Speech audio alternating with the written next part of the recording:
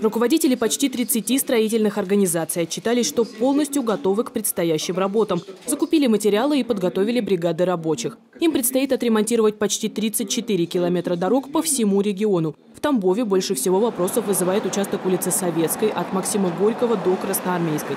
Этот оживленный кусок нужно сделать максимально быстро и качественно. Еще один сложный участок на Рассказовском шоссе от улицы Степана Разина до пригородного леса. Подрядчик выиграл торги с понижением в 23%, но отчитался о полной готовности к работам.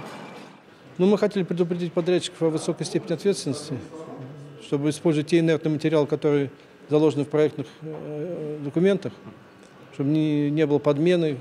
В прошлом году контроль за этим осуществлялся. В этом году он будет ужесточен. Потому что работает и ведомственный контроль, и стройнадзор, и общественный контроль, и депутатский.